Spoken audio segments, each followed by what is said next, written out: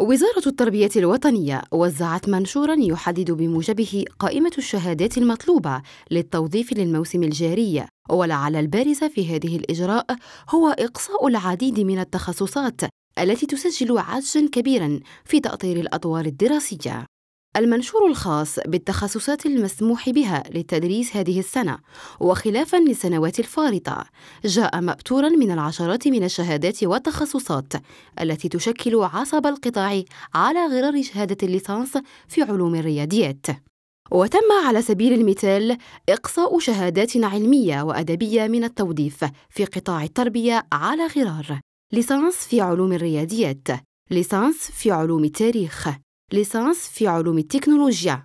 ليسانس في العلوم الطبيعية. ليسانس في البيولوجيا. ليسانس في اللغة الفرنسية. وأخيرا ليسانس في اللغة الإنجليزية. وبالرغم من مرور أكثر من ثلاثة أشهر على الدخول المدرسي إلا أن العشرات من المناصب لا تزال شاغرة بسبب غياب التخصصات لا سيما اللغة الأجنبية. نورية بن غبريط بالمقابل فتحت المجال واسعا لتوظيف أصحاب شهادات الليسانس في علوم النفس بجميع فروعه. وجديد مسابقات التوظيف لهذه السنة فتح مناصب مالية لرتبة مشرف تربوي إلا أن الغريب في الأمر أن تشترط وزارة التربية الوطنية في سابقة هي الأولى من نوعها أن يكون المترشحون لهذه المسابقة من حملة ليسانس في علوم النفس.